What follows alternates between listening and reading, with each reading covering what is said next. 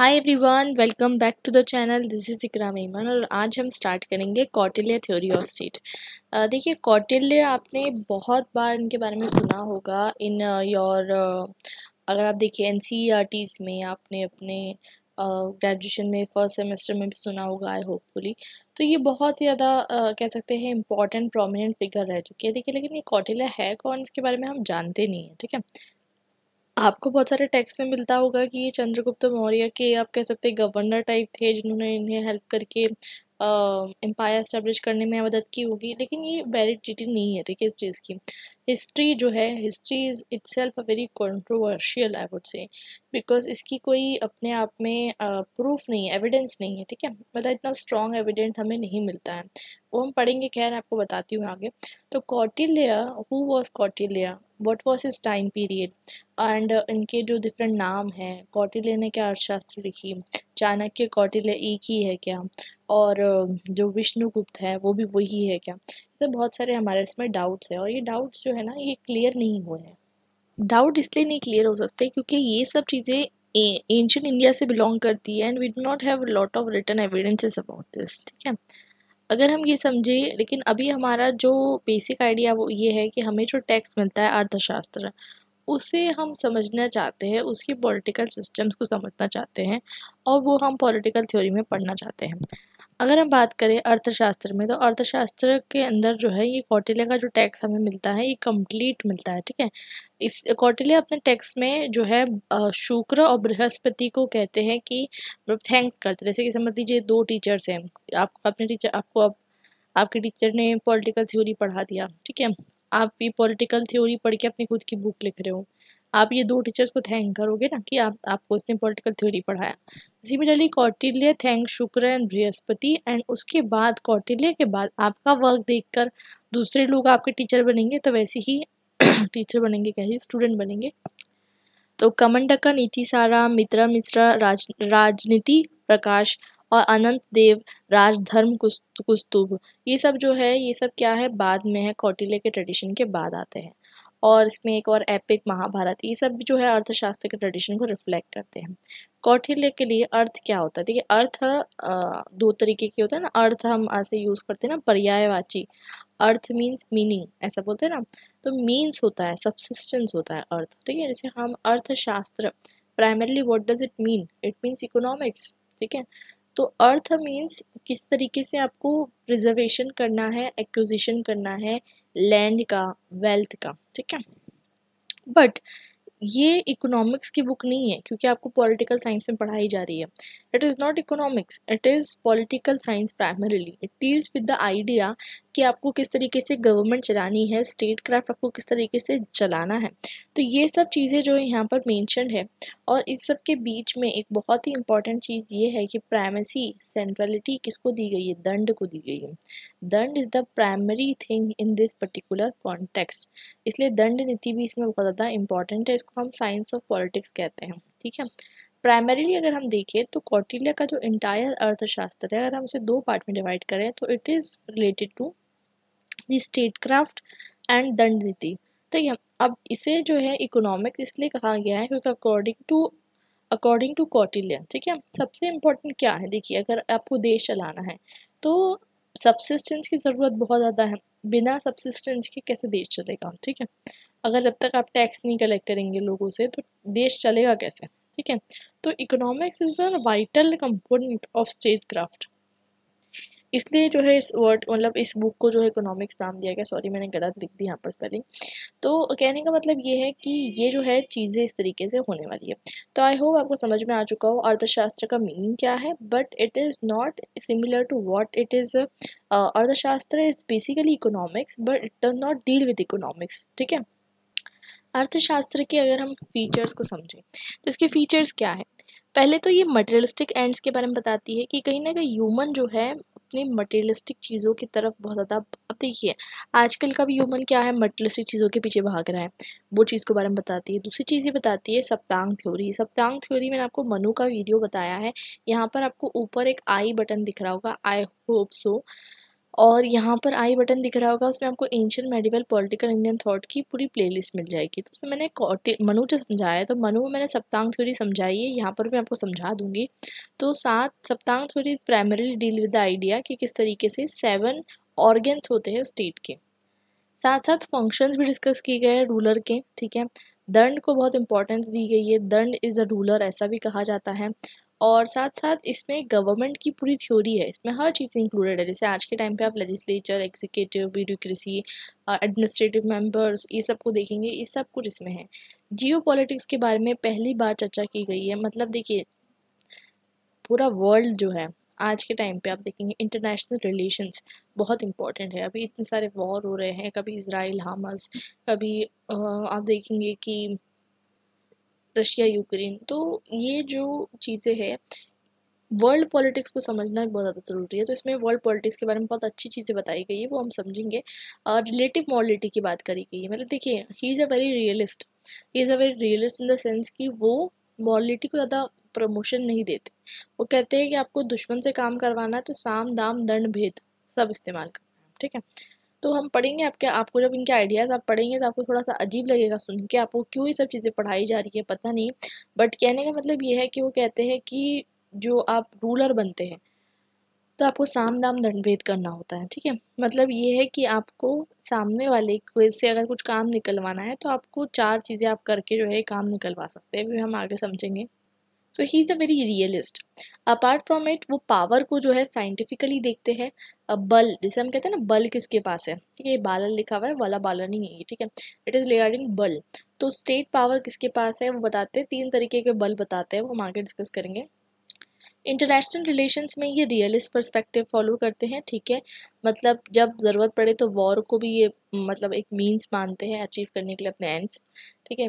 Politics को अपने आप में ये अलग इंडिपेंडेंट साइंस बनाते हैं। देखिए इनसे पहले जो मनु के बारे में हमने डिस्कस किया था अगर आपने नहीं समझा तो जाकर आप एक बार समझ लीजिए। Manu primarily what does he do is that he relates the idea of um, politics with that of religion. But kautilya was one of the person who separated the religion from politics. और मनु का जैसे कि बहुत ज़्यादा biasness था towards ब्राह्मण, ये सब चीज़ें आपको कौटिल्य के अर्थशास्त्र में कम्प्लीटली तो हम नहीं कह सकते, लेकिन बहुत कम देखने को मिलेगी, ठीक है? Because he separates religion with that of politics Arthashastra में अगर हम देखें तो दो तरीके की साइंसेस हैं। एक तो वर्ता यानी इकोनॉमिक्स मैंने अभी आपको बताया, ठीक है? और दूसरा है साइंस ऑफ़ गवर्नमेंट यानी दंड नीति ठीक है? दोनों आपस में मिलके क्या बनाती है? अर्थशास्त्र बनाती है। ये बनाई क्यों गई है? देखिए, अगर आप अर्थशास्त्र को पढ़ेंगे या समझेंगे तो आपको समझ में आएगा कि अर्थशास्त्र जो है, पॉलिटिकल ग्रुप के लिए बनाई गई है। जैसे कि अगर आपको कोई आप पॉलिटिशियन बन गए और आपको ये थमा दी कि किताब कि आपको ऐसा रूल करना है तो ये सब चीज़ें उसमें बताई गई है, ठीक है? और कौटिल्य को अगर हम समझें तो कौटिल्य अपने आप में एक बहुत रियलिस्ट थे। देखिए रियलिस्ट थे मतलब ये कि अच्छाई और आइडियलिस्ट बातें, ये सब वो नहीं करते थे। बहुत प्रैग्मेटिक थे, बहुत प्रैक्टिकल थे। ठीक है, अब ये बात अलग है कि उनकी प्रैक्टिकलिटी बहुत अलग है, ठीक है। वो यहाँ तक कि उनकी प्रैक्टिकलिटी है कि आप दुश्मन को पता लगा के उसको जहर दे दो, या फिर अगर आपका कोई मंत्री आपके खिलाफ धोखाधड़ी कर रहा है तो आप उसको मार दो। तो वो हम पढ़ेंगे आगे तो ये जो चीज़ें हैं इनकी, ये सब चीज़ें आप देखेंगे कि बहुत ज़्यादा हद तक ये बहुत प्रैक्टिकल है। अब आप इसको प्रैक्टिकल कहें या इमोरल कहे, वो आपकी मर्ज़ी। बट ये रियलिस्ट है। और इन्होंने ये सबसे जितने भी राइटर्स थे, ठीक है, सब लोगों ने पॉलिटिक्स को रिलीजन से मिलाकर लिखा था। इन्होंने पॉलिटिक्स और रिलीजन को अलग किया। सबसे इम्पोर्टेंट इनका पॉइंट यही बनता है। इन्होंने जो एडमिनिस्ट्रेशन दिया, जो एडमिनिस्ट्रेशन का इनका सिस्टम था, ये सेंट्रलाइज था। सेंट्रलाइज इन द सेंस कि जैसे कि समझ लीजिए ट्राइंगल है, ठीक है? नीचे से लेकर ऊपर तक एक हायर की बनी हुई है और इसमें जो है सारा सिस्टम जो है क्या है कनेक्टेड है। सो so, ये जो एडमिनिस्ट्रेशन का जो सिस्टम है ये पहली बार जो है इन्होंने इतना ज़्यादा सेंट्रलाइज एडमिनिस्ट्रेशन सिस्टम दिया जो कि बहुत हद तक के बाद में भी जो है फॉलो अप होता रहा। Again one more important thing is that कि there is a controversy about ये कंपोज कब हुआ था। मैंने आपको कहा, जैसे कि बताया था कि चंद्रगुप्त मौर्य के टाइम पे ऐसा माना जाता है, लेकिन विंटर विंटरनेट्स ये कहती है विंटरनेट्स ये कहते हैं कि अगर कौटिल्य का क्रिएशन मौर्यन टाइम पे था तो ग्रीक हिस्टोरियंस आपको पता है मैगस्थीनीस चंद्रगुप्त मौर्य के पीरियड में आए थे विज़िट करने के लिए तो उन्होंने क्यों ऐसा मैंशन नहीं किया? इतनी इंपॉर्टेंट पर्सनैलिटी को वो कैसे नहीं मैंशन करे? ठीक है? तो वो इस तरीके से उनका कहना है, ठीक है? According to according to doctor Jolly Arthashastra और यजनावल्क्य स्मृति के बीच में, ठीक है रिलीजन एंड लॉस में बहुत ज़्यादा सिमिलैरिटीज है, इसलिए हो सकता है कि ये थर्ड सेंचुरी में कंपोज की गई हो, ठीक? तो ये अलग अलग ये कंट्रोवर्सी है और ये हमें मिली कब आप देखेंगे 1904 में मिली, ठीक है? इससे पहले ना ये फॉलो हो रही थी ना कुछ हो रही थी ये हमें वॉन्डरिंग मॉन्क्स मॉन्क्स जो होते हैं ना, ये कुछ पाम लीव्स लेकर आए मैसूर ओरिएंटल लाइब्रेरी में और वहाँ पर लाइब्रेरियन थे आर शाम श्यामा शास्त्री। उन्होंने इसको देखकर जो है ट्रांसलेट करवाया और पब्लिश करवाया। पंद्रह बुक इसकी छपी, डेढ़ सौ चैप्टर और एक सौ अस्सी टॉपिक ठीक है? अब इसको अलग अलग लोग अलग अलग नाम से जानते हैं। आर पी कांगले इसे साइंस ऑफ़ पॉलिटिक्स कहते हैं। ए एल बाशम इसे ट्रिटिस ऑफ़ पॉलिटी कहते हैं। डी डी कोशाम्बी इसे साइंस ऑफ़ मटेरियल गेन कहते हैं। तो ये एक चीज़ समझने वाली है आपकी बात, आप समझिए ज़रा चीज़ को, कि हम अक्सर ये कह देते ना कि कौटिल्य चाणक्य विष्णुगुप्त ये सब कौन थे जो चंद्रगुप्त मौर्य के टाइम पे थे, ठीक है? हम अक्सर इसको कैटेगराइज कर देते हैं क्योंकि हमारे लिए बहुत इजी हो जाता है, लेकिन ये हिस्टोरियन चीज़ें हैं। हिस्टोरियन चीज़ें इन द सेंस की स्टूडेंट जब इसे पढ़ते हैं और समझते हैं ना तो वो कहते हैं कि भैया ऐसा कोई स्ट्रिक्ट एविडेंस नहीं है। हम क्या करते हैं जनरलाइज करने की कोशिश करते हैं कि हमारा काम आसान हो जाए। ठीक है। लेकिन हमें समझना है कि इतना यू नो क्या कहते हैं उसे टू प्लस टू फोर नहीं होता, ठीक है, हिस्ट्री में। मतलब हमें हर चीज़ क्लियर नहीं बताया कि क्या है, क्या नहीं है। तो इतना क्लियरली हमें बोलना नहीं चाहिए कि ये इस टाइम पे था, ये इसके वो थे। हम अक्सर कह देते हैं, लेकिन हमें एक हमेशा डाउट रहना चाहिए, क्योंकि डाउट इन द सेंस कि हो सकता है कि बाद में जाके कोई नया इंस्क्रिप्शन मिले और कुछ नया डिसिफर हो जाए, ठीक है? हिस्ट्री जो थी वो तो है, लेकिन हमारे पास उनका क्या एविडेंस है, वो भी इम्पोर्टेंट है। तो रहे हमारे पास इनका कोई स्ट्रॉन्ग एविडेंस नहीं है कि ये कौटिल्य वही कौटिल्य है कि नहीं। अब हमें उससे मतलब नहीं है कि कौटिल्य कौन थे क्योंकि हम हिस्टोरियन नहीं हैं राइट अगर हम हिस्टोरियन होते तो फिर हम अलग अलग तरीके की चीज़ें पढ़ते अगर हम हिस्ट्री पढ़ रहे होते। हम हिस्टोरियन नहीं है हमारा मतलब ये है कि हम अर्थशास्त्र को पढ़ें और उसके अंदर जो थ्योरीज बताई गई है उसे समझें ठीक है? चाहे वो किसी भी टाइम पीरियड पे हो चाहे वो किसी के भी आ, आ, आप कह सकते हैं कोट पोएट क्यों ना हो? हमें सिर्फ़ ओरिजिनल सब चीज़ें समझनी है। कौटिल्य के अकॉर्डिंग स्टेट ओरिजिन कैसे हुआ? तो उनका भी कॉन्सेप्ट सेम ही है, मत्स्य न्याय का कॉन्सेप्ट मत्स्य न्याय का कॉन्सेप्ट यानी कि जब लोग परेशान हो गए थे एनार्की थी। अनारकी आपको पता है, जब कोई राजा नहीं होता है अगर समझ लीजिए कोई राजा, कोई मतलब कोई लॉ सिस्टम नहीं है, अनारकी है। सब लोग परेशान हो गए। और उन्होंने जाकर जो है, मनु को अपना राजा बनाया और कहा कि हम आपको वन सिक्स ग्रेन देंगे। One six of the grain ठीक है? और one tenth of the merchandise and gold देंगे, आप उसके बदले में हमारी सिक्योरिटी करना, ठीक है? अगर आप इसमें देखिए तो आपको एक डेमोक्रेटिक एलिमेंट देखने को मिल रहा है कि लोगों ने अपना नेता खुद चुना, ठीक है? कि आप हमारा राजा बनिए, ठीक है? तो इसका ओरिजिन ऑफ़ द स्टेट जो है, ये मनु से बहुत डिफरेंट है, ठीक है? मनु से बहुत डिफरेंट है इन द सेंस दैट कि मनु क्या कहते हैं? कि मनु ये कहते हैं कि राजा जो था, उसे डिवाइन ओरिजिन बताते हैं, ठीक है? डिवाइन ओरिजिन और ये डिवाइन ओरिजिन नहीं बताते, ये बताते हैं कि नहीं राजा को जो है प्रजा ने चूज़ किया, ठीक है? तो ये एक अलग दोनों के बीच में डिफरेंस है। आपको दोनों के बीच में डिफरेंस करने के लिए भी आ सकता है। एक स्टेट के जो एंड्स होते हैं कौटिल्य के अकॉर्डिंग स्टेट के एंड सिर्फ़ पीस मेंटेन करना नहीं है मतलब शांति बनाए रखना नहीं है, बल्कि लोगों के लिए, मैंने आपको बताया था ना, उस टाइम पे मैं आपको बताऊँगी। तो ये तीन चीज़ें बहुत इंपॉर्टेंट है तो रक्षा करना एक इसे हम रक्षा कहते हैं कि योगाक्षेमा कहते हैं तो आपको इतना संस्कृत टर्म पढ़ने की ज़रूरत नहीं है। आप नॉर्मली यहाँ पर लिखा है तो नॉर्मली भी समझ सकते हैं। प्रोटेक्शन यानी रक्षा करना दोनों इंटरनल और एक्सटर्नल चीज़ों से जो है स्टेट का काम क्या है, रक्षा करना लोगों की। उसके अलावा मतलब न्याय मेंटेन करना कॉमन लॉ मेंटेन करना सोशल ऑर्डर मेंटेन करना, लोगों का वेलफेयर भला, भलाई मेंटेन करना, धर्म प्रोटेक्ट करके रखना, ठीक है? और लोगों की वेलफेयर फैलाना। ठीक है सबसे इंपॉर्टेंट चीज़ ये है कि ये कहते हैं कि अब हमारे जो सब्जेक्ट्स हैं happiness of his subject was hidden in their in his happiness and in their welfare his welfare मतलब ये कहते हैं कि राजा का जो भला है, वो राजा की जो खुशी है, वो जनता की खुशी में है और राजा का जो भला है, वो जनता के भले में है। ठीक है, इस तरीके से बताते हैं, ठीक है? उसके बाद हम समझते हैं कि जनता को बहुत इंपॉर्टेंस देते हैं ये। उसके बाद हम पढ़ते हैं इनकी सेवन जो लिम्स थ्योरी है सप्तांग थ्योरी के बारे में। अकॉर्डिंग टू कौटिल्या हर एक पार्ट की अपनी अपनी ड्यूटी होती है, ठीक है? उसमें स्वामी है, यानी राजा है किंग यानी मिनिस्टर्स जनपद यानी टेरिटरी दुर्ग यानी कि फोर्ट कोश यानी ट्रेजरी दंड यानी कि रॉयल्स कैप्टर एंड मित्र ठीक है? अब देखते हैं, पढ़ते हैं, इसके बारे में समझते हैं। अब आपको समझ में तो आ ही रहा होगा, इतना ईजी सा है, कुछ डिफ़िकल्ट नहीं है। स्वामी यानी कि राजा राजा जो कि अपने प्रजा को खुश रखे। ठीक है? राजा की क्वालिटीज़ वो क्या बताते हैं? वो एक हाई फैमिली में पैदा होना चाहिए, ठीक है? गॉडली होना चाहिए। अब गॉडली होना से उनका क्या कहने का मतलब है कि उनके अंदर कैरेक्टरिस्टिक्स जो होते हैं ना, वो गॉड जैसे होने चाहिए। देखिए, इंसान के अंदर कैरेक्टरिस्टिक्स जो है, वो गॉड जैसे कैसे आ जाएँगे, ठीक है? तो कहने का मतलब ये है कि वो बताना चाहते हैं कि किंग को बहुत अच्छा होना चाहिए इन शॉर्ट ये कहने का मतलब है। ट्रूथफुल होना चाहिए और ग्रेटफुल होना चाहिए हाईली एंथुसियास्टिक होना चाहिए प्रोकेस्टिनेशन बिल्कुल नहीं करना चाहिए। और पावरफुल होना चाहिए। ऐसे बहुत सारी वो क्वालिटीज़ बताते हैं, ठीक है? और अपने जो इंद्रियों पे नियंत्रण रखना जिसे हम कहते हैं, ठीक है? कंट्रोल ऑन द ऑर्गन्स उस पर भी वो क्वार्टिले बताते हैं। तो ये सब चीज़ें हैं, वो बताते हैं और अपना जो भी जितने भी इंद्रियों पे कंट्रोल करने के लिए वो क्या बताते हैं कि अपना जो वैनिटी मान हॉटीनेस मादा ओवर जो है हर्ष इन सबको जो है ख़त्म करना है। मतलब हमारे लस्ट एंगर ग्रीड वैनिटी अब देखिए इतना कोई ह्यूमन करता नहीं है। बट वो बताते हैं, एक आइडियल स्टेट बताते हैं, ठीक है? वो ये भी बताते हैं कि जब कोई प्रिंस है, वो बड़ा हो रहा है तो उसका करेक्टर डेवलप करने के लिए उसको बहुत डिसिप्लिन प्रोग्राम उसको दो।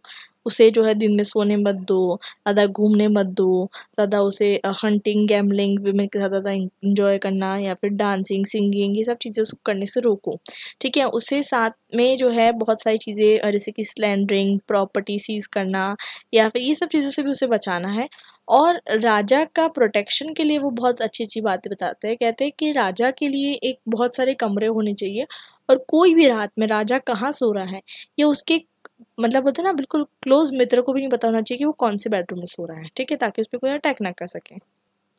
अब वो बताते हैं कि कुछ ट्रबल्स होते हैं जो इंटरनल्स होते हैं, अंदर के ट्रबल्स होते हैं, जैसे मिनिस्टर आपकी बात नहीं सुन रहे, ठीक है, कुछ होते हैं एक्सटर्नल ट्रबल्स तो बोलते हैं इंटरनल ट्रबल है ना, वो ज़्यादा खतरनाक होती है, जैसे कि सांप होता है ना, आस्तीन का सांप कहते हैं हम, ठीक है तो इस तरीके से होता है, आस्तीन का सांप होता है या फिर हम कहते हैं विभिजन ठीक है? तो वैसी बात है कि इंटरनल स्ट्रगल ज़्यादा इंपॉर्टेंट है, ना कि एक्सटर्नल ठीक है? एक्सटर्नल ट्रबल ज़्यादा इंपॉर्टेंट इंटरनल ट्रबल ज़्यादा सीरियस है। और वो ये भी कहते हैं कि किंग को अपने मिनिस्टर्स को कंट्रोल करना चाहिए और उसके साथ साथ जो है अपने स्पाइस भी रखना चाहिए। अभी हम स्पाइस के बारे में पढ़ेंगे, आपको बड़ा इंटरेस्टिंग लगेगा। एप्सियोनेट सिस्टम इनका जो बताते हैं कि जासूस रखना है हमें। और वो जासूस भी इतने सारे टाइप के जासूस रखने हैं और अपने मंत्रियों को भी टेस्ट करना है, दूसरी कंट्रीज़ के लोगों को भी टेस्ट करना है, जनता को भी टेस्ट करना है। तो वो हम समझेंगे आगे। अब राजा के जो ड्यूटी से पहले वो समझ लेते हैं। तो राजा ऑफकोर्स ये बात है कि सबसे इम्पोर्टेंट राजा है। मैंने आपको मनु के उसमें भी समझाया था। एग्जीक्यूटिव फ़ंक्शन यानी लोकाक्षेमा, यानी सारे लोगों का भला चाहना, ये सब जो है, किसका काम है? राजा का काम है। लॉ एंड ऑर्डर मेंटेन करना राजा का काम है, ठीक है?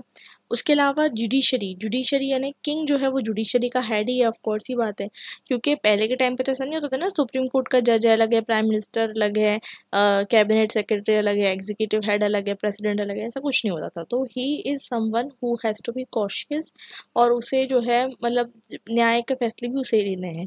लेजिस्लेटिव फ़ंक्शन अगर हम देखें तो उसे लेजिस्लेटिव फ़ंक्शन भी निभाने हैं। कानून बनाने हैं, लेकिन कानून वो कहते हैं हमेशा धर्म को ध्यान रखते हुए हमें जो है बनाने हैं। ठीक है? ये चीज़ वो कहते हैं। एडमिनिस्ट्रेटिव की बात करें तो एडमिनिस्ट्रेटिव मतलब मिनिस्टर्स को अपॉइंट करने का सारा काम किंग ही करेगा और सही इंसान को अपॉइंट करना बहुत ही इंपॉर्टेंट जो है वो बताते काम है। एक्लियस्टिकल यानी कि प्रीस्ट को अपॉइंट करना बहुत इंपॉर्टेंट काम है। और प्रीस्ट को अपॉइंट करने के लिए देखिए प्रीस्ट मतलब पहले उस टाइम पे भी मतलब यही होता था कि यही कि ब्राह्मण को आप अपॉइंट करो, उसे अच्छे वेजेस दो वो करो, ठीक है? तो मतलब रिचुअल्स वगैरह पे उस पर भी इम्फोसाइज किया गया है। फिर बात करते हैं रिवेन्यू की तो रिवेन्यू राजा का काम है कि अपना जो कोष है, उसकी रक्षा करें, ठीक है? और वो इम्पोर्टेंट है। वो इम्पोर्टेंट है इसलिए कि अपना तिजोरी खाली हो गई तो फिर कोई आपको देने नहीं वाला है, ठीक है, पैसे। तो जनता से आपको कलेक्ट करते रहना है पैसे, ये जो है राजा का काम है। मिलिट्री फ़ंक्शन भी राजा के हैं मतलब मिलिट्री को ध्यान रखना भी राजा का काम है। जब शांति होती है और जब वॉर होते हैं तो दोनों के टाइम पे उसके सोल्जर्स का ध्यान रखना और साथ साथ सोल्जर्स के अलावा देखिए, इन पे इम्फोसाइज वो क्या करते हैं, जैसे कि जो एनिमल्स होते हैं, जैसे कि कैवलरी में जो जो एनिमल्स होते हैं, जैसे कि हॉर्स चैरियट्स एलिफेंट्स देखिए चैरियट्स कह रही हूँ तो हॉर्स एंड एलिफेंट जो एनिमल्स होते हैं तो इनका ध्यान रखना भी जो है, राजा का काम है।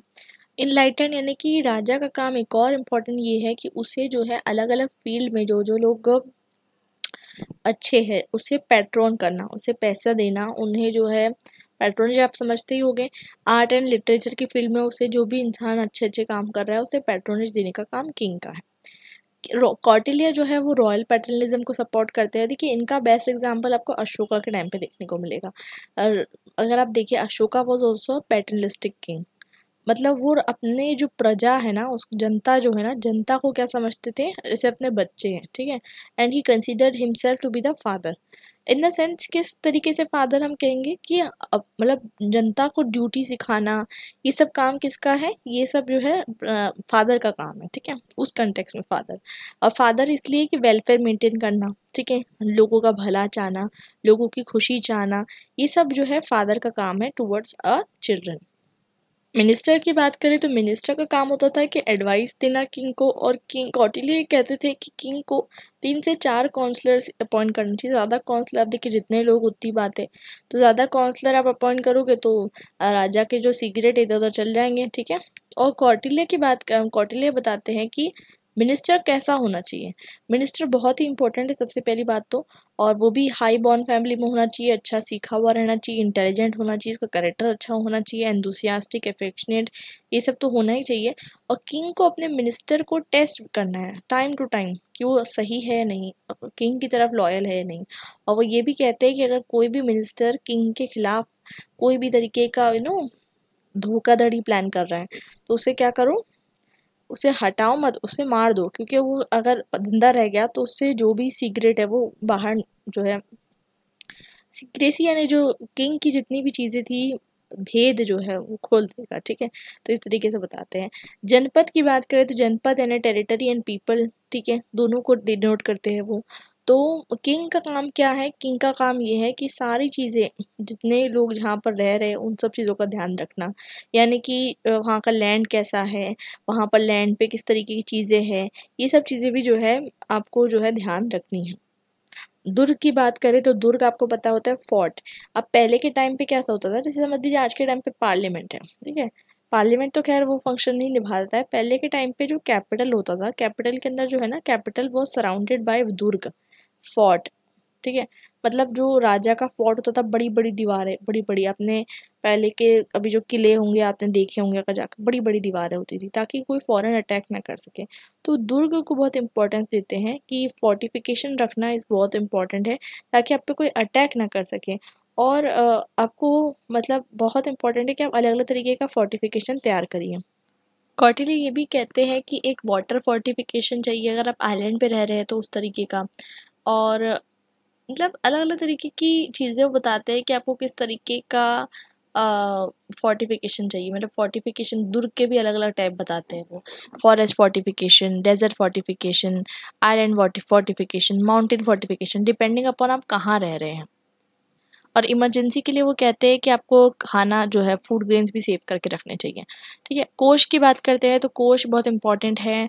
जितना भी मतलब पैसा है, वो किंग को सही तरीके से जमा करना चाहिए और जो भी उसके ट्रेजरी है, उसे मतलब इनहेरिट करना चाहिए। अपने जो भी उसके किंग रहेगा, उसे इनहेरिट करना चाहिए जिसमें हर चीज़ जमा होनी चाहिए। ताकि कोई कैलिमिटी आई तो उसमें वो यूज़ कर सके। जैसे गोल्ड सिल्वर स्टोन और ज्वेल्स जैम सब जमा करके रखना चाहिए।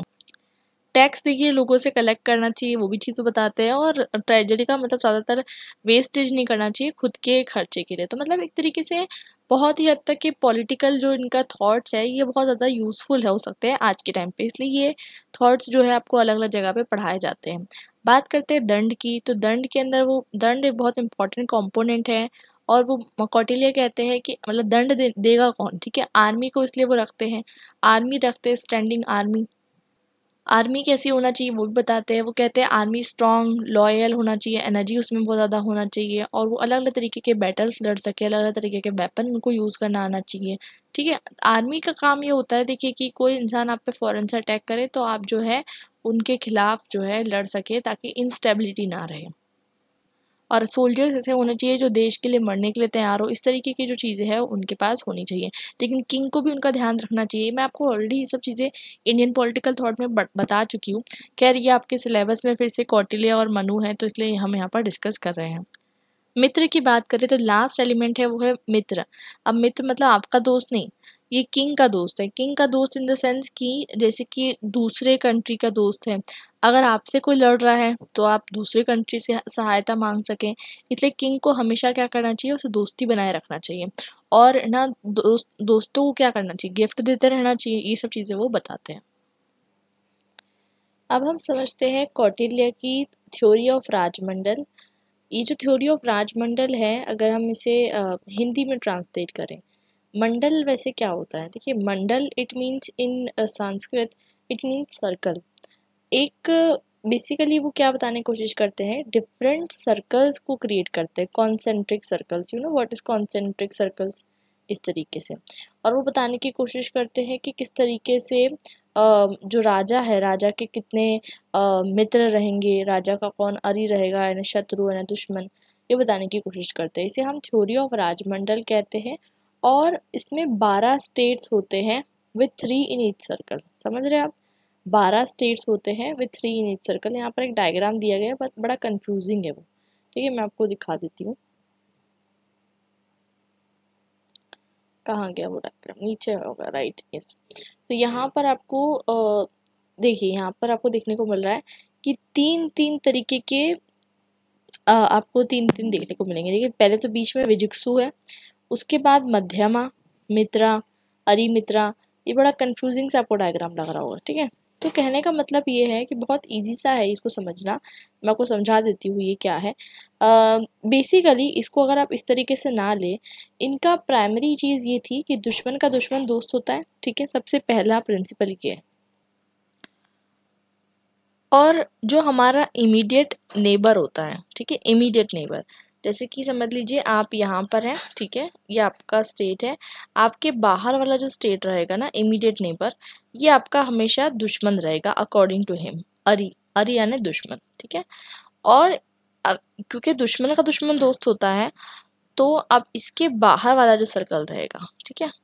तो उस लॉजिक से ये भी इसका दुश्मन हुआ, क्योंकि ये इसके नेबर है तो ये इसका दुश्मन हुआ, इसका दुश्मन हुआ, ठीक है? तो ये आपका क्या हुआ? मित्रा हुआ। क्योंकि दुश्मन का दुश्मन दोस्त होता है। अब ये आपका मित्र हुआ, ठीक है? अब ये मित्र के बाहर जो रहेगा, ठीक है? मित्र के इमीडिएटली बाहर जो रहेगा, ठीक है? मैं इतना सर्कल बनाती हूँ। तो अब ये इसका दुश्मन रहेगा, मित्र का दुश्मन रहेगा। तो वो क्या है? आरी मित्र है। अरी मित्र मतलब वो आपके दुश्मन का दोस्त है। अब आपके दुश्मन का दोस्त है तो आप सॉरी दुश्मन का दोस्त नहीं दोस्त का दुश्मन है ठीक है? आपके दोस्त का दुश्मन है। अगर अब आपके दोस्त के दुश्मन है तो वो आपका दोस्त कैसे हो सकता है? और ये तो अरी मित्र जो है वो तो किसका दोस्त रहेगा? मित अरी का दोस्त रहेगा ना? क्योंकि ये आपके साथ इसके साथ मिलके आपके खिलाफ साजिश कर सकता है।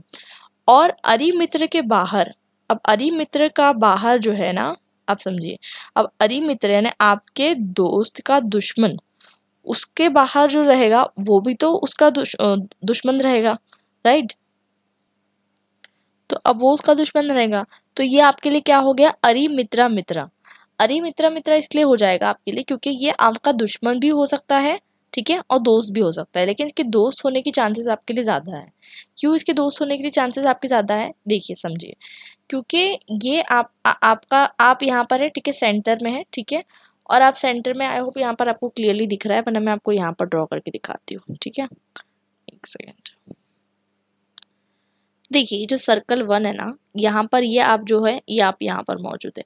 ये सर्कल टू जो है, इसमें आपका कौन है? दुश्मन है, ठीक है?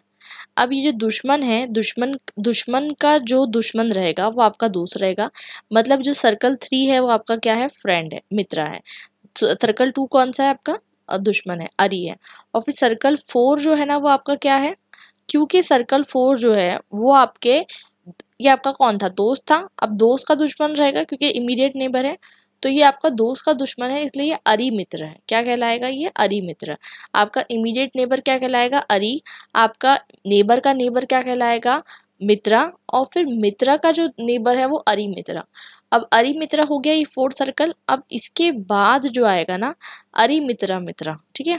दो बार मित्र, ठीक है? अरि मित्र अब अरि मित्र मित्र मतलब क्या होता है कि ये आपके, जो आपका मतलब आपके दोस्त का, ठीक है? आपके दोस्त के दुश्मन का दोस्त है, ठीक है? इसलिए आपको क्या कहने का बोल रहे हैं वो? आपके दोस्त का, ठीक है?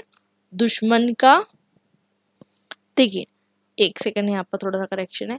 अरि मित्र मित्रणी ये जो आपका अरि मित्र का जो अरि मित्र का मतलब अरि मित्र का जो दुश्मन रहेगा, वो आपका क्या रहेगा? मित्र मित्र रहेगा। मित्र मित्र क्यों रहेगा? क्योंकि आप देखिए अगर ध्यान दीजिए, ये आपके, क्योंकि ये थ्री नंबर का है, ठीक है? थ्री नंबर पे कौन था? आपका मित्र था। ये आपके मित्र का मित्र है, क्योंकि थ्री नंबर जो है फाइव नंबर का दोस्ती करेगा। तो ये आपके मित्र का मित्र है। तो ये क्या हो गया? आपके लिए मित्रा मित्रा। और उसके बाद जो है ना, आपका जो सर्कल रहेगा, इसमें जो रहेगा, ये आपका अरि मित्र मित्र। अरि मित्र मित्र मतलब ये आपका जो मित्र मित्र है ना, इसका अरि, इसका दुश्मन रहेगा ये, ठीक है? तो I hope it is very clear to you अब ये तो हो गया, ये स्टेट्स हो गए। अब कॉटली ये भी कहते हैं, ये किंग को पीछे से अटैक करने के लिए भी बहुत सारे लोग होते हैं, ठीक है? उसमें भी वो अलग अलग कैटेगरी देते हैं। तो आपको अटैक करने वाला जो आपका दुश्मन है वो पार्शिना ग्रह है ठीक है? उसके पीछे जो है जो आपका दोस्त है वो आकरंडा है ठीक है? उसके पीछे जो है एक पार्शिना ग्रह हो गया आपका एक आकरंडा हो गया ये आपका दुश्मन है पार्शिना ग्रह ये आकरंडा आपका दोस्त है ठीक है?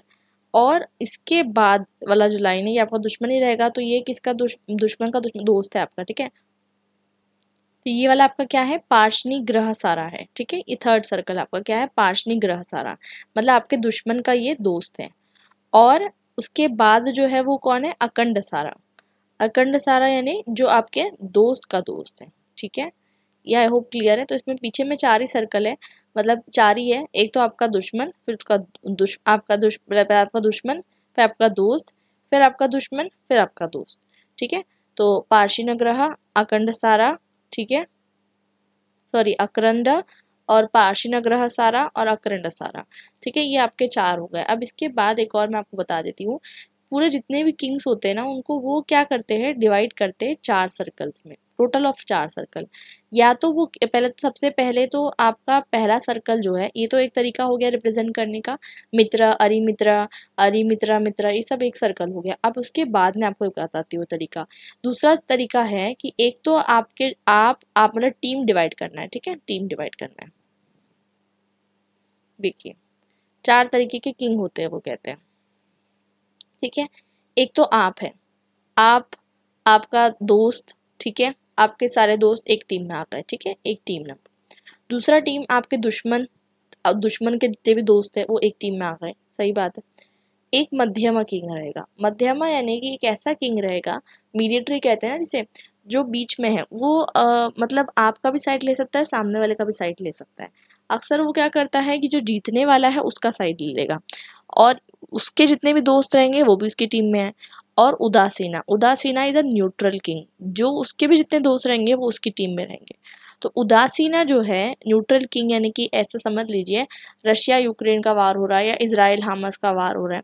अब अगर इंडिया डायरेक्टली इफेक्टेड नहीं है, वैसे तो आजकल इंटरनेशनल रिलेशन सब एक दूसरे पे कमेंट करते रहते हैं बट अगर इंडिया डायरेक्टली इफेक्टेड नहीं है तो वो सोचेगा कि चलो मैं न्यूट्रल रहता हूँ, मुझे क्या करना है कमेंट करके, ठीक है?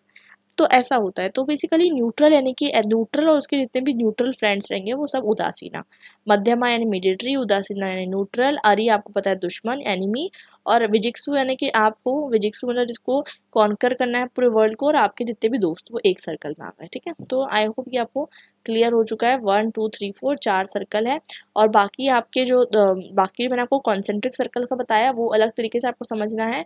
उसमें आपको नेबरहुड के जोग्राफिकल लोकेशन के कंटेक्स में आपको वो चीज़ें समझनी है। तो ये इनके सिंपल से प्रिंसिपल है आपको पढ़ लेना, आपको क्लियर हो जाएगा, मैंने आपको समझा दिया है। उसके अलावा चार और प्रिंसिपल बेसिक बेसिक अजम्पन है। वो बोलते हैं कि जैसे कि जोग्राफिकल लोकेशन पे डिपेंड करता है कि कोई दुश्मन बनेगा या दोस्त बनेगा। और बॉर्डरिंग स्टेट्स का भी दोस्त नहीं हो सकता। देखिए, इनका प्रिंसिपल ये गलत है। आप ऐसा नहीं कह सकते कि ये चीज़ हमेशा सही होगी। आप कुछ देख लीजिए कुछ मिडल ईस्ट नेशन देख लीजिए, कुछ मैं कह रही हूँ, ठीक है? कुछ पे ध्यान रखिएगा। और आप कुछ यूरोपियन नेशन देख लीजिए, ठीक है? कुछ यूरोपियन नेशन बॉर्डरिंग स्टेट है, लेकिन बहुत अच्छे फ्रेंड्स हैं। अमेरिकन नेशंस देख लीजिए, कुछ, ठीक है, उसमें भी। तो ये देखिए, अब इंडिया इंडिया नेपाल रिलेशनशिप देख लीजिए, या फिर इंडिया बांग्लादेश रिलेशन देख लीजिए, या फिर इंडिया म्यांमार तो अच्छे ठीक है, आप नहीं भी बोल सकते बट इंडिया भूटान रिलेशनशिप देख लीजिए, ठीक है? तो इनके रिलेशनशिप बड़े अच्छे हैं।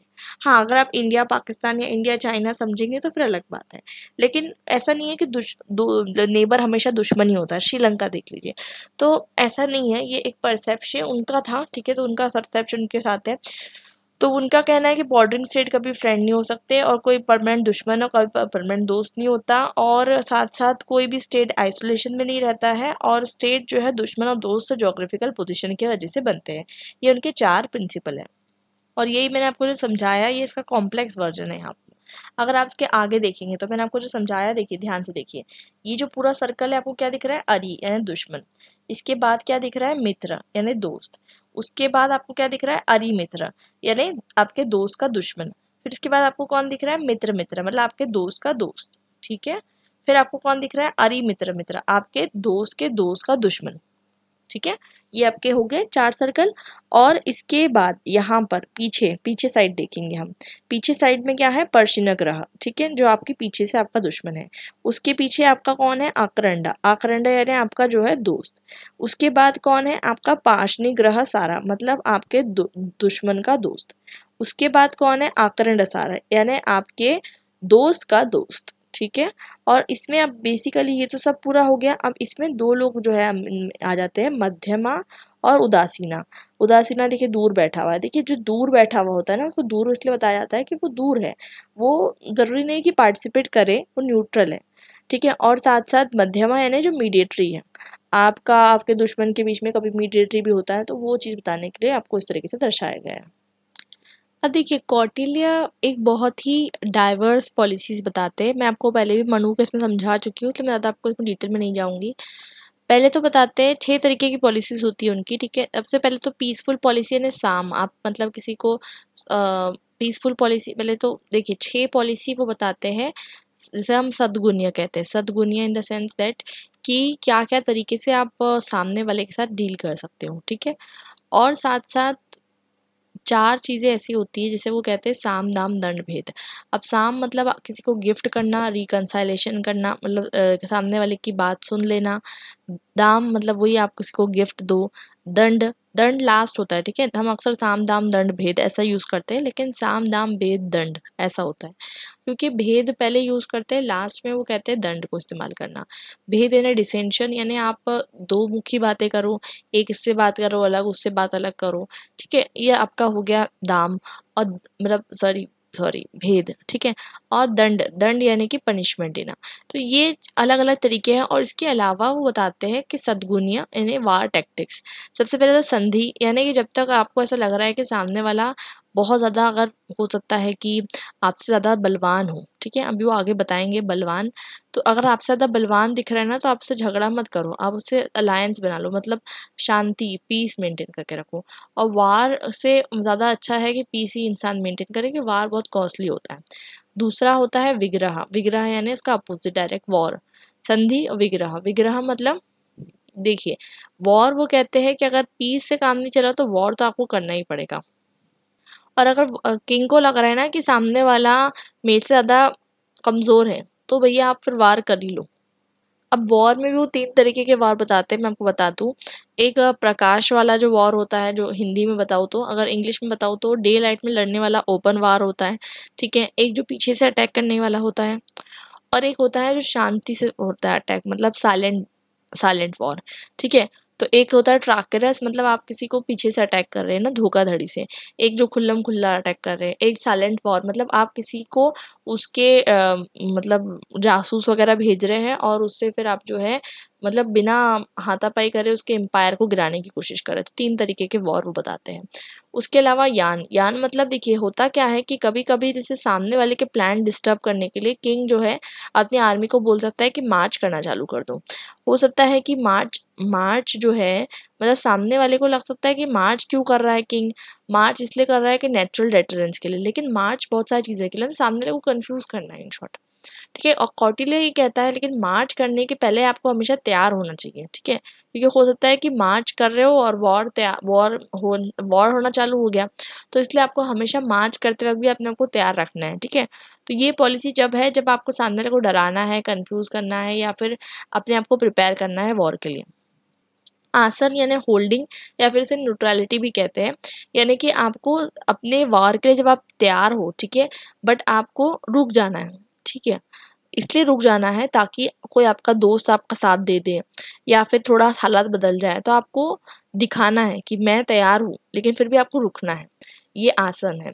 और सामसार्य सामसार्य भी कहते हैं ऐसे इसे प्रोटेक्शन सीख करना। मतलब अलायंस बिल्डिंग करना या प्रोटेक्शन सीख करना। आप कोई बड़े बड़े राज्य हैं आप उससे जो है आ, मतलब प्रोटेक्शन सीख करके रखिए।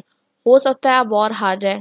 अगर आप हार, वॉर हार गए तो आपके पास कुछ तो होना चाहिए ना कि आप पावरफुल किंग से प्रोटेक्शन मांग सकें। द्वदी भाव। द्वदी भाव यानी कि कौटिल्य ऑफकोर्स ही बात है मोरलिस्ट नहीं है। वो कहते हैं कि भैया, आपको डुप्लिसिटी यूज़ करना है। डुप्लिसिटी यानी कि मतलब है ना, सामने वाले के जो मिनिस्टर है, उसको ब्राइब करो। उसको सीक्रेट एजेंट्स को यूज़ करो। ये सब चीज़ों को करो। मॉरलिटी की बातें नहीं करते वो। अब वो बोलते हैं कि अगर डिपेंड करता है कि जो जीतने वाला है, उसकी स्ट्रेटजी किस पे डिपेंड करती है? कि जीतने वाले जो है, उनके आपस में इक्वेशन क्या है? और उनके ऑब्जेक्टिव क्या है? मोटिवेशन क्या है? ये सब चीज़ों पे डिपेंड करती है। अब देखिए, वो एक कॉन्सेप्ट देते हैं, वो धर्म विजय को बोलते हैं। ना कि वो बोलते हैं असुर विजय लोभ विजय। मतलब ये कि जैसे कि आपने जब किसी राज्य को कैप्चर कर लिया तो ऐसा नहीं कि आप वहाँ के लोगों को मारोगे, ऐसा कुछ भी करोगे। अनेक्सेशन करने के बाद भी आप वहाँ पर जो लोग हैं ना, उनके साथ ऑटोनॉमी उसकी मेंटेन कर रख के रखोगे जैसे कि चंद्रगुप्त तो मौर्य के टाइम पे इसको क्यों रिलेट किया जाता है? क्योंकि उनका एम्पायर बहुत बड़ा हो चुका था, ठीक है? और वो बहुत फैल चुका था और उसके बाद भी जैसे कि रिलेटिव ऑटोनॉमी वहाँ पर मेंटेन रहने दीजिए आप, ठीक है? ऐसा नहीं कि आप अपने आप का रूलर वहाँ पर फोर्स कर रहे हैं। तो इससे क्या होगा? ऑटोनॉमी मेंटेन रहने दीजिए और उसके बाद फिर आप जो है अपना जो है राज चलाइए। और एक और चीज़ सबसे इंपॉर्टेंट कि जब आप वॉर लड़ने जा रहे हैं, उससे पहले देखिए कि सामने वाला राज्य जो है, वो आपके जितना ताकतवर है, यानी कि साम्राज्य है। साम्राज्य मतलब आपके जितना ताकतवर ठीक है सामान यहाँ पर ना साम मतलब सामान हीन राज्य, हीन आपको पता है ना, जो आपसे नीचे होता है वीक रूलर ठीक है? बलवान बलवान राज्य है मतलब स्ट्रॉन्ग किंग अगर आपसे स्ट्रॉन्ग है, आपसे वीक है, आपके जैसा है, आपको ये असेस करना है। उसके बाद ही आप वार लड़िए, ठीक है? और ये जो बल है, ये जो बल हम देख रहे हैं ना मतलब कि बलवान राज्य है या है कि नहीं इसे मिलिट्री पावर को मत देखिए, उसके मतलब सिर्फ़ उत्साह बल, यानी उसके फ़िज़िकल स्ट्रेंथ को मत देखिए, उसके मंत्र बल। मंत्र मतलब उसके मंत्री कैसे हैं इंटेलेक्चुअल पावर कैसा है, प्रभु बल, यानी उसके पास इकोनॉमिक्स कैसा है, ये सब भी देखिए। एप्सियोनेट system espionage system it means that कि आपका जासूसी वाला जो सिस्टम है, इसमें बहुत इंपॉर्टेंस वो देते हैं और बोलते हैं कि जासूस होना बहुत सारे लोगों के बहुत ज़्यादा ज़रूरी है। और वो दो तरीके के जासूस बताते हैं। एक तो संस्था ठीक है, जो एक जगह पे स्टैब्लिश होते हैं, ठीक है, और एक होते हैं जो हमारे घूमते रहते हैं यहाँ से समकारा ठीक है, रोवर और स्टैब्लिश दो अलग अलग तरीके के। अब समसारा में भी बहुत सारे टाइप होते हैं, मैं आपको बता देती हूँ क्लासीफाई करके। तो समसारा में बहुत सारे टाइप होते हैं। तो आप समझते हैं समसारा मतलब जैसे कि अपने खुद के किंगडम के अंदर आप उसको रखते हो स्टेब्लिश करके ताकि वो आपको इन्फॉर्मेशन ला दे हर जगह से। तो अब उसमें पाँच तरीके के होते हैं। एक होता है कपटिका कपटिका यानी कि एक ऐसा डिसाइपल जो दूसरों के माइंड को पढ़ सके। उदासिता, ठीक है? जैसे कि कोई मॉन्क है, ठीक है? मॉन्क बहुत सारे हैं, आपको पता है। उसके बीच में एक मतलब मॉन्क जैसा वो दिखेगा, लेकिन वो मॉन्क रहेगा नहीं। मतलब उसे जासूसी करने गया है। ग्रह पिटाका ग्रह ग्रह पिटाका कह रही हूँ। ग्रह पति का। मतलब ये है कि ये एक ऐसा फार्मर बन के रहेगा, वैदह का, एक मर्चेंट जैसा रहेगा। मतलब अलग अलग जगह पे रखना है आपको। एक मर्चेंट के रूप में रखना है, एक फार्मर के रूप में रखना है, एक स्टूडेंट के रूप में रखना है, एक मॉन्ग के रूप में रखना है। तापस तापस मतलब वही तपस्या करने वाले जो होते हैं, एक एस्थेटिक जैसा दिखेगा, लेकिन वो एस्थेटिक रहेगा नहीं। इससे क्या पता चलेगा? ये सब लोग क्या पता लगाएँगे? किंग के जो सर्वेंट्स हैं, वो सही में काम कर रहे हैं किंग के लिए नहीं। और सामचा सामकारा। सामकारा यानी दूसरों के आप जैसे कि दूसरों के जो राज्य है, उसमें आप भेजोगे इनको, ठीक है? और दूसरों के किंगडम में इनको आप भेजोगे। कैसे? इसमें सतरिन सतरिन यानी कि, जो कि एक ऑर्फेन एक ऑर्फेन को आप पालोगे, जो कि एजेंट बनाओगे उसको बड़ा करके, ठीक है? और एक तीक्ष्णा। तीक्ष्णा यानी कि बहुत ही थोड़ी ख़राब चीज़ है मतलब सामने वाले एनिमी को आप क्या करोगे? लिक्विडेट कर दोगे। रसाड़ा। रसाड़ा अगेन वेरी इंपॉर्टेंट थिंग कि एक केमिस्ट जिसको पॉइजन देना पता रहे कि मतलब सामने वाले को मारना कैसे है, ठीक है? तो जिसको भी अगर पता चले कि कोई इंसान राजा के खिलाफ काम कर रहा है तो वो सीक्रेटली सामने वाले को मार भी सकता है। भिक्षुकी यानी कि एक ऐसी ब्राह्मण नन जो ऐसे लोगों पे नज़र रखे, जो लोगों को लगता है कि भाई ये ब्राह्मण नन है, ठीक है? तो उस पर नज़र रखने का काम। तो ये सब जो है आपको, ये पता होना चाहिए, ये सब अलग अलग तरीके के सामकारा और अलग अलग तरीके के समस्त है। सामकारा बेसिकली दूसरों के स्टेट में प्लेस किए जाते हैं, दूसरों पर नज़र रखने के लिए और समस्था यानी अपने ही स्टेट में प्लेस किए जाते हैं। अब एक और इंपॉर्टेंट होते हैं, वो है उभिया वेतना। उभिया वेतना यानी कि ऐसे जो स्पेशली फॉरेन के लिए काम में आते हैं, वो दूसरे के स्टेट में जाके डिसेंशन क्रिएट करते हैं। डिसेंशन यानी कि दूसरों के स्टेट में जाके ना डिवाइड एंड रूल क्रिएट करते हैं, दूसरों दो भाव क्रिएट करते हैं मतलब ना झगड़ा फसाद लगाते हैं। और वेमेन बहुत इंपॉर्टेंट रोल प्ले करती है, जैसे कि वेमेन को भेज दिया डांसर बना के प्रोस्टिट्यूट बना के और उनको दे रहे हैं कि आप मिनिस्टर्स को लुभाओ। ऐसी ऐसी चीज़ें मतलब हैं और उनसे सीक्रेट निकलवाओ, ठीक है? और उनको मारने की भी मतलब क्या कहते हैं, क्या आता है कि आपको अगर ऐसा लगे तो आप किसी को मार भी सकते हैं। तो ये बहुत सारे मतलब कौटिल्य बोलते हैं ना, बहुत ज़्यादा वैसे तो ये सब चीज़ें नहीं बताना चाहिए, लेकिन ये सब चीज़ें जो है आपको पढ़ाई जा रही है तो इन द सेंस कि ये सब चीज़ें जो है बहुत ही ज़्यादा रियलिस्ट परस्पेक्टिव के अकॉर्डिंग बताते हैं। पहले के टाइम पे ऐसे होता था, राजा वगैरह, अब तो ऐसा नहीं होता है। ठीक है, अभी भी वैसे आप देखेंगे कि एजेंट्स होते हैं अपने अपने हर जगह पे रॉ एजेंट्स हैं। तो वही है सामने वाले का फॉरेन में क्या चल रहा है, आप पता करो। एजेंट्स का पता लगाओ, सामने वालों के कमज़ोरी का पता लगाओ तो ये सब चीज़ें जो है यहाँ पर आपको देखने को मिल रही हैं। अब अक्सर देखिए कौटिल्य को हम इंडियन मैकेवली या ओरिएंटल मैकेवली कहते हैं। देखिए डिस्कवरी ऑफ़ इंडिया में जवाहरलाल नेहरू जी ने बुलाते हैं इंडियन मैकेवली ठीक है? तो आ, इंडियन मैकेवली एक ओरिएंटल मैकेवली कहलाते कहलाते हैं आई थिंक इंडियन मैकेवली कहलाते हैं ठीक है? तो पॉइंट इज़ दैट कि दोनों का बहुत अलग अलग यू नो तरीका है। तो आप इसको दोनों को कंपेयर नहीं कर सकते लेकिन फिर भी इनको कंपेयर किया जाता है। देखिए मैकेवली की तरह जो है कौटिल्य भी जो भेद की पॉलिसी देते हैं डिसेंशन की। यानी कि कौटिल्य कहते हैं कि राजा को अपना धर्म अपनी प्रजा की तरफ़ निभाना चाहिए, लेकिन दूसरों, दूसरे स्टेट की तरफ़ उसका कोई धर्म नहीं है, उसको क्या करना है, दूसरे स्टेट से लड़ना है। ठीक है? मतलब वो कहते हैं ना everything is fair in love and war वाला सिचुएशन है।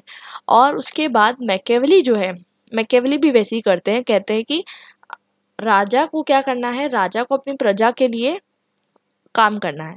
लेकिन मैकेवली थोड़ा अलग अलग टाइम पे, दोनों अपने टाइम पे बिलोंग करते हैं। सिक्सटीन सेंचुरी में प्रिंस लिखते हैं मैकेवली और एक कौटिल्य का तो टेक्स्ट बहुत पुराना है। दोनों अलग अलग तरीके के हैं और दोनों अलग अलग तरीके के राइटिंग्स हैं। उनके अलग अलग इंटरेस्ट हैं और मैकेवली तो थोड़े से कहते हैं ना बहुत उनके अलग अलग डायलॉग्स हैं प्रिंस के लिए वो लिखते हैं। तो वैसे ही जो है कौटिल्य भी लिखते हैं तो दोनों को कंपेयर करना अच्छा भी है और बुरा भी है इन द सेंस कि दोनों के अपने अपने गोल है, अपने अपने अलग अलग टाइम पीरियड है और दोनों को अगर हम कंपेयर करेंगे तो उनकी ओरिजिनलिटी जो है वो ख़त्म हो जाएगी। इसलिए आपको ऐसा कहा जा रहा है कि दोनों को आप कंपेयर मत कीजिए।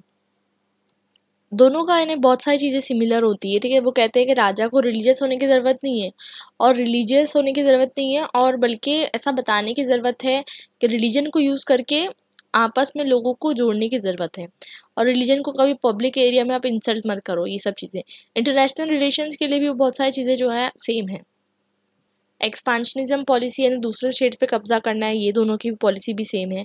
और साथ साथ प्रोपोगेंडा स्पाइस को यूज़ करना है, ये भी बहुत ज़्यादा दोनों के लिए जो है सेम है। तो दोनों का कंपैरिजन भी आप कर सकते हैं, लेकिन जैसे कि अगर आपको एग्ज़ाम में आता है दोनों की सिमिलैरिटीज़ भी है, लेकिन दोनों की डिफरेंसेस भी है that need to be keep in mind जैसे कि कौटिल्य, धर्म, अर्थ और मोक्ष मोक्ष तो बाद में आएगा, धर्म धर्म धर्म, अर्थ और काम की प्राप्ति के लिए जो है रखते हैं स्टेट को।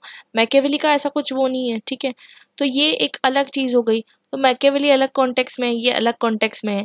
तो इसलिए कहीं ना कहीं ये ऐसा कहना और मैकेवली को मैके मतलब कौटिल्य को, क्योंकि कौटिल्य का टेक्स्ट पहले है मैकेवली से तो मैकेवली, कौटिल्य को अगर आप ओरिएंटल मैकेवली कहला रहे हो मतलब ये भी एक तरीके का यूरोसेंट्रिज्म हो गया।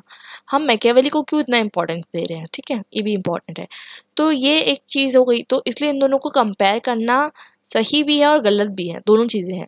तो वो चीज़ें आपको जो है समझनी है कि आप थोड़ी बहुत चीज़ें इनकी कंपेयर कर सकते हो, लेकिन आपको ये भी समझना है कि they are unique in their context और दोनों अपने अपने कंटेक्स्ट में अलग अलग बातें बताते हैं, दोनों की पॉलिसी मिलती जुलती है, लेकिन दोनों अपने अपने पोजिशन में ओरिजिनल है। ठीक है? तो ये आपको समझना है। आई होप ये चैप्टर आपको समझ में आ चुका हो। मैंने ये चैप्टर को आपको एक ही वीडियो में समराइज़ करने की कोशिश की है, ताकि आपको बार बार अलग अलग वीडियोस ना देखना पड़े। सप्तांग थ्योरी मैंने आपको बता दी है मतलब सेवन स्टेट उसके अलावा मैंने कॉटेलिया थ्योरी ऑफ़ ओरिजिन भी बताई है फ़ंक्शन भी बता दिए स्टेट के। और इंटरनेशनल रिलेशन भी समझाया, आपको सर्कल ऑफ़ स्टेट समझाया, मित्र अरि मित्र सब समझा दिया। एप्सियोनरी सिस्टम भी आपको मैंने एसपियोनरी सिस्टम भी समझा दिया, जिसमें जासूसों का रोल है स्पाइस का रोल है।